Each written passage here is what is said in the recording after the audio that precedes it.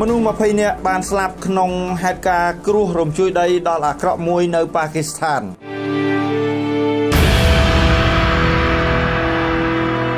យ៉ាងហោចណាស់មនុស្ស20នាក់បានស្លាប់និងមនុស្សជាង200នាក់ផ្សេងទៀតបានរងរបួសបន្ទាប់ពីគ្រោះរំជួយដីមួយបានវាយប្រហារក្នុងខេត្តប៉ាឡូជីភាគនិរតីនៃប្រទេសប៉ាគីស្ថានគ្រោះរំជួយដីកម្រិត5.9 Richter នេះបានវាយប្រហារនៅក្នុងស្រុកហាណៃចម្ងាយប្រហែល100គីឡូម៉ែត្រពីរដ្ឋធានីខេតានៅវេលាម៉ោងជាង3យប់ថ្ងៃប្រហោះហើយគ្រោះរំជួយដីនេះមានចម្ងាយប្រហែល20គីឡូម៉ែត្រយោធាប៉ាគីស្ថានបានឲ្យដឹងថាថាក្រោយពេលកើតហេតុភ្លាមភ្លាមនោះក្រុមអ្នកជួយសង្គ្រោះមួយចំនួន បានទៅដល់តំបន់ដែលរងគ្រោះនោះហើយបានរកឃើញអ្នករបួសធ្ងន់ចំនួន9នាក់ហើយត្រូវបានគេដឹកតាមយន្តហោះទៅកាន់ទីក្រុងកេតាយ៉ាងណាមិញនាយករដ្ឋមន្ត្រីប៉ាគីស្ថានលោកអ៊ី